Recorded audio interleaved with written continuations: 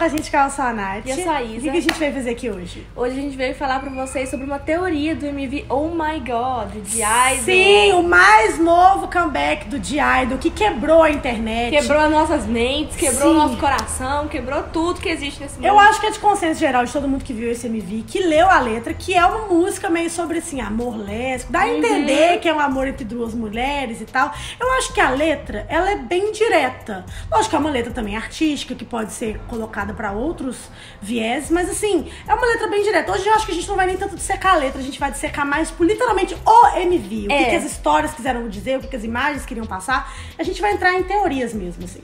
Porque o teu MV ele é bem É bem rebuscado, misterioso, tem exatamente. muitas coisas, ele né? tem muita analogia, ele remete a muitas coisas femininas, a muitas coisas de céu e inferno, e a gente vai entrar nisso agora. E a gente rodou a internet inteira, a gente fuçou no Twitter várias teorias, que muita gente começou a fazer muita teoria sobre isso. E a gente achou uma teoria em especial que a gente achou muito boa. A gente vai deixar o arroba aqui pra vocês da teoria, da, da thread da teoria, que, gente, foi... Não é a única teoria é que a a gente única. achou. Teve muitas muito boas, assim, porque é um MV muito teorizável, né? Exato. Tipo, chipado, assim, muito teorizável. Só que essa foi aquela que resignou no nosso coraçãozinho, assim, a gente, pô... A gente leu e falou, nossa, Eu leria uma fanfic, um livro disso amarradona, tipo assim. amarradaço. Tô, tô, tô até clamando pra pessoa que escreveu essa teoria, por favor, faz um livro disso.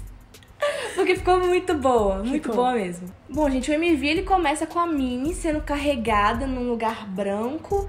E a teoria diz que, na verdade, ela tá sendo carregada porque ela era um anjo, mas que ela pecou e ela estava sendo levada pro seu castigo. E as coisas, tipo, escorrendo por ela seria, tipo, a pureza se esvarindo dela. Putz, sabe? Uhum. A mina até demonstra arrependimento, sabe? Assim, as feições com o líquido escorrendo, ela com aquela coisa do vinho e tal. Mas também essa cena pode demonstrar que não tem como ela muito fugir do passado dela, do que ela fez, sabe? Ela pode estar arrependida como ela não pode. E mostra até flechas da Soyeon também, mostrando que ela também já tá entregue a esse pecado, que no caso ela também seria um anjo. E que só que ela, no caso dela, ela já tá totalmente entregue às novas decisões dela, que no caso é tipo ir para o lado ruim da Exato. força. A gente pode perceber isso porque enquanto a Minnie tá desesperada procurando uma saída, a Soyeon tá dançando Exatamente. e simplesmente curtindo. se entregando ali, entregando. blindada por Satã. e isso reflete muito os seres humanos, porque tem pessoas assim que realmente aceitam as próprias escolhas e, tipo, bancam suas decisões. Tem pessoas que ainda, tipo, lutam contra aquilo, contra o Uhum. seu eu verdadeiro, contra o que você quer fazer. Então é muito. É um estudo antropológico mesmo, se você for pensar nisso. Sim. E depois a gente vê que a Minnie, quando ela tá procurando a saída, ela realmente encontra uma saída ali.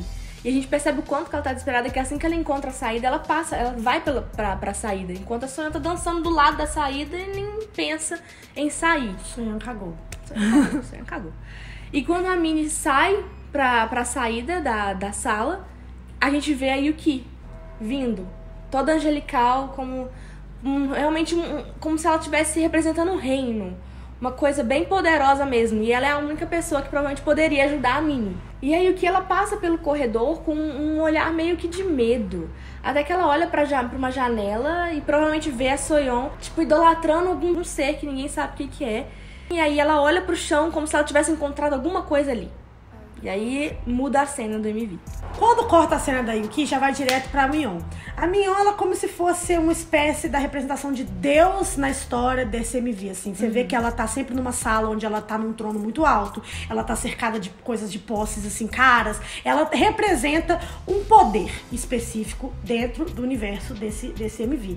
Então, assim, é muito interessante ver que ela detém todo esse poder. E as pessoas estão pensando, assim, que é como se ela representasse Deus nessa história. E ela, assim, o, o exército de Deus são os anjos. Então, cada uma das meninas representa os anjos e elas têm as decisões e, e, é, tipo assim, cada um arca com a sua própria decisão, entendeu? Então é uma Exatamente. coisa muito, assim, bem trabalhada. E eu, e, eu, e eu estou inscrita muito nessa teoria de que a Mion é Deus mesmo, porque eu acho que o cenário dela é o mais imponente. É um celestial, né? Muito Sim. poderoso. E nesse momento a gente vê que a Yuki, ela pegou a taça de vinho. Ela pegou a taça de vinho e isso significa que ela pecou. Ela não é mais um anjo também, como a Minnie e como a Soyeon. Ela também se entregou ao pecado. Corta pra próxima cena já com a Soyeon, assim, já seria no refrão, né, no ápice do MV. Ela totalmente entregue ao pecado mesmo. Eu acho que a Soyeon é da- dos anjos que caíram, ela é a mais convicta da- das próprias decisões. E ela já tá, tipo, cercada de mulheres, dançando, entregue mesmo aquela coisa ali que pode ser considerada uma coisa mais pagã, mais macabra, em vista daquela sala mais branca, heteral, que os anjos vieram dela. Então, assim, realmente você vê que assim, ela tá entregue, foda-se, aí arcou com as consequências e tamo junto, entendeu? Tá lá dançando com a manhezada e é nóis. E é nóis. E aí logo depois a gente vê a Minnie também cercada por essas mulheres, como ela também está já no inferno. Ela já está consumida ali, mesmo ela estando se debatendo. Mesmo ela estando se debatendo, ela está consumida pelo pecado. E aparece então Sudin, que é a chave de tudo isso que está acontecendo. Sudin era o ser que Soyeon estava idolatrando na cena em que Yuki estava olhando para fora da janela. Então talvez Sudin seja um contraste direto à magnitude da Mion, né? Uhum. Que tipo é a representatividade desse Deus maior supremo. Só que agora a gente talvez tenha uma outra deusa a quem adorar, entendeu? Exato. E é o, é gera tipo assim, é o catalisador de todos os conflitos, né? A outra cena que aparece é da Soyeon, ainda em seu formato de anjo, em uma, um lugar com cheio de arame farpado, tipo uma, uma cela de arame, farpado. Presa. Mostrando que, exatamente, que ela se sentia presa enquanto ela estava no céu. E que ela encontrou essa maneira como, tipo, o pecado como uma maneira de se libertar, sabe? A Sudinha é como se fosse a chave libertadora disso tudo, né? Exato. Logo depois disso, a gente corta de novo pra Mignon e você vê que ela tá com aquela sensação de que ela tá perdendo seu exército pouco a pouco pra essa nova entidade, que no caso seria representada pela Sudin.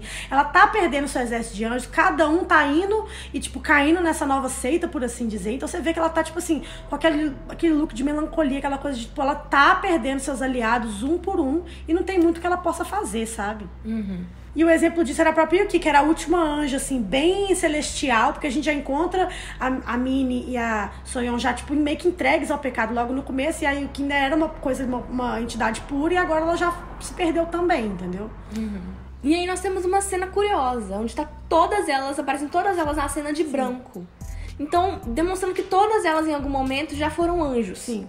Seres puros, né? Exatamente, seres puros. E é só que a gente consegue ver a Sudin com uma maçã na mão. A maçã, para quem conhece bem, representa muito pecado Sim. na história bíblica. Então podemos dizer que a Sudin foi a primeira a pecar e foi a que influenciou todas a fazerem o mesmo.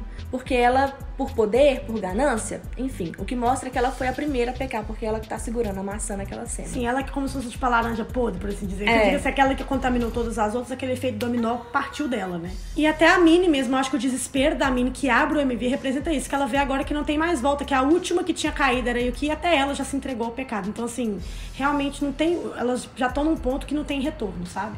E, gente, vocês acharam que ia ficar por isso mesmo? Gente, tem um, tem um plot twist Fudido, nessa teoria. Tem um plot twist, uma reviravolta muito louca. Porque tem uma pecinha faltando aí, não é, gente? A nossa maquiné, quando ela aparece, quando o Chua aparece, é como se ela estivesse no lugar da Mio. Verdade. É como se ela fosse agora um novo ser celestial. Uhum. Porque a gente consegue perceber no lugar que ela tá, que atrás dela ficava o lugar que a Mion ficava. Uhum. E ela está ali com os anjos, com o poder na sala celestial que ela está. Ou seja, será que Shua é a nova Deus? É um novo Deus, poder supremo, onipresente, onipotente? Aí logo depois que a gente vê essa Shua deusa, a gente tem um flash da Shua antiga, que também estava no mesmo lugar de aprisionamento que a Suyeon se encontrava, né? No arame farpado, naquele lugar assim realmente de opressão. Uhum. Então, foi a Sudin que talvez tenha trazido ela para esse novo lugar de poderio, entendeu? Então é uma coisa muito interessante ver de onde ponto A pro ponto B, de onde que ela estava e onde que ela está agora. E a gente pode perceber que tá lá a Shua com a, com a Sudin e de repente aparece a Soyeon. Ou seja, o truque da Sudin é sempre o mesmo. A gente já percebe isso. Ela faz todos os anjos se apaixonarem por ela. Sim. Terem, tipo, endeusarem ela. São peças tabuleiro dela, por né? ela. Exatamente. para ela poder controlar elas do jeito que ela quiser. Porque como as duas trocam de lugar uma com a outra, dá pra ver que pouco importa pra Sudin. O negócio é o esquema que ela tá tramando e não a pessoa em si, né? Exato. E depois disso vem aquela frase que a Sudin sussurra. Do fundo do meu coração, uma frase em latim. Sim. Tipo, mostrando que as pessoas que ela faz se apaixonar por ela estão de todo o coração para ela. Todo o coração. Ela faz as pessoas se apaixonarem por ela para fazerem o que ela quiser. Só que na verdade ela só ama ela mesma, porque ela é. não tá ligando muito pras pessoas. Igual a gente falou, não tá ligando muito pras pessoas. Ela tá ligando pro esquema que ela tá armando ali. Exatamente. Então as pessoas são peças no tabuleiro dela, no final dá pra ver que ela é uma nova entidade super narcisista mesmo. Né? Exatamente. Né? E ela quer controlar todos os lados, ela não quer controlar só um dos lados.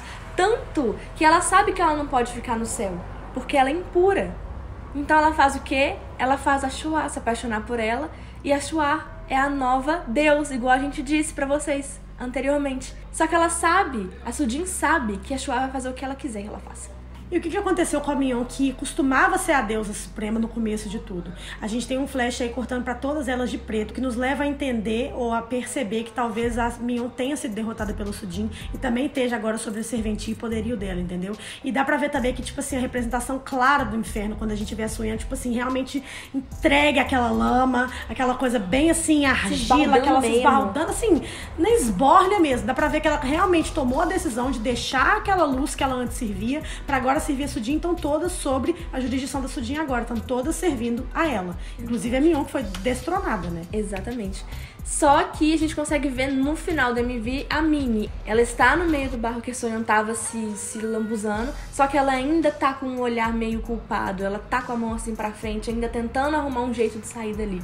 Dá a entender, assim como ela abriu o MV, como ela fechou, que apesar dela tá nesse novo destino, ela ainda não aceitou e que se ela pudesse voltar atrás, talvez ela teria feito diferente. Não dá pra ver que tem sempre uma coisa que quando a coisa é ruim ou não é boa 100%, tipo, tem as ramificações erradas também. A pessoa tá sabendo que ela não tinha que estar ali, uhum. entendeu? É fruto de escolhas, mas Cara, a gente achou essa teoria maravilhosa. Ela é maravilhosa. Ela combinou direitinho com o MV e a gente queria vir mostrar pra seria vocês. Seria um puto filme também, né? Seria uma série maravilhosa. Seria. Gente, vamos investir nisso aí. Eu achei a história tão maravilhosa. Muito boa, gente. Olha, quantas coisas já saíram de inspirações de, sabe?